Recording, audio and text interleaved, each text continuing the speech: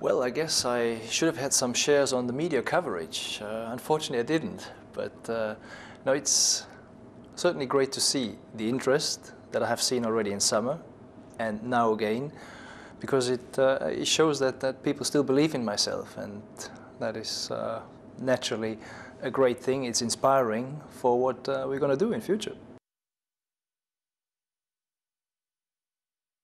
It's a funny story because I had a chat with uh, Ross in Abu Dhabi concerning sort of half serious question if I would consider driving again and uh, it wasn't the right moment. I wasn't really considering since three years though three weeks later he called me again and he, he put the question a little bit more serious and I don't know what happened but uh, the fact working together with Ross having the combination together with Mercedes GP and Petronas to go back on track, uh, it was inspiring. It was something that, that uh, sparked inside myself and until now has never stopped. And it's really uh, something that, that makes, me, makes myself uh, thrilled.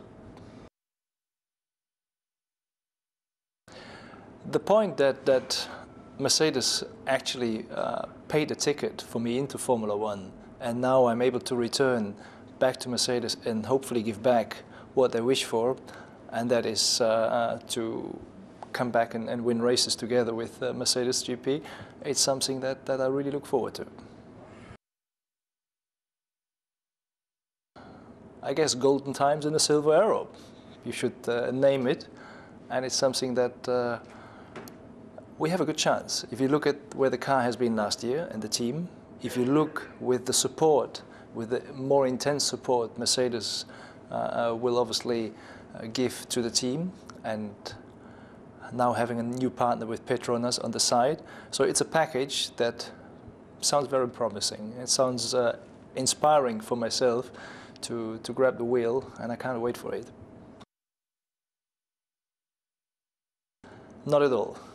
In summer, unfortunately, we have to say uh, the time was too early. The time between the accident and driving back in a Formula One car it was too small. Now we have almost a year and uh, I have now started obviously intense training and I'm already at levels that I have not been able to, to work at in summertime, so I have no doubt about my neck. Well, it's, it's a funny story because uh, uh, just recently we saw each other at the go-kart track.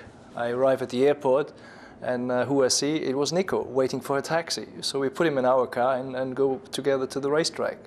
At this time, we didn't know there was uh, actually a, possible uh, joining with each other. And I think he's highly competitive. He's very fast. He has proven this uh, many times. But at the same time, that's a big challenge for me.